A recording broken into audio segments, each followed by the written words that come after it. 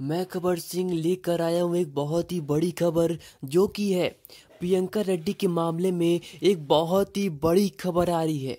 तो आइए आपको पूरी खबर विस्तार से बताते हैं।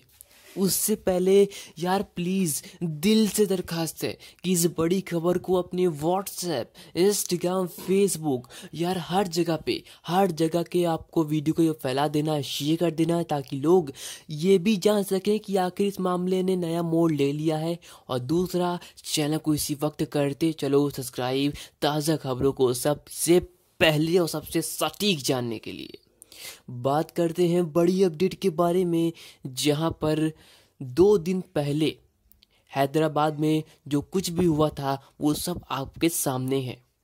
बड़ी बात इसमें से ये है कि एक नया मामला जुड़ चुका है इस केस में। यानी कि जो चार आरोपी थे, वो चारों के चारों गिरफ़्तार हो चुके हैं, जो कि पुलिस के लिए बहुत ही बड़ी कामयाबी मिली है।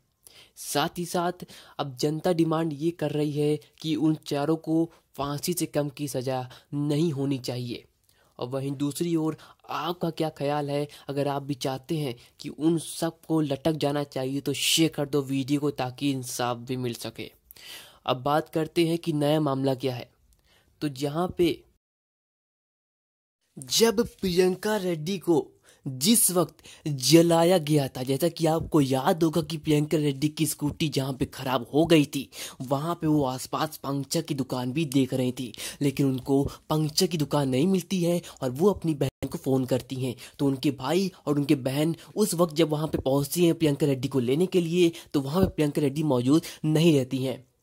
अब बात यह है कि कुछ लोग आते हैं प्रियंका रेड्डी को लेके चले जाते हैं। साथ ही साथ, जब प्रियंका रेड्डी को जलाया जा रहा होता है तो वो हेल्प हेल्प चिल्ला रही होती हैं। तभी रोज़ा नाम की लड़की, ध्यान दीजिएगा, यही है नया मामला। तब रोज़ा नाम की लड़की प्रियंका रेड्डी को बचाने के लिए जाती है। और नतीजा क्या रहा कि वो लोग, जो चारों लोग, मोहम्मद पाशा की जो गैंग है, वो चारों लोग रोज़ा को भी वहीं जला देते हैं। और नतीजा ये रहा कि आज प्रियंका रेड्डी के साथ रोज़ा भी नहीं मिल सकी हैं और वो सब भी हम सबको छोड़ के चली गई हैं।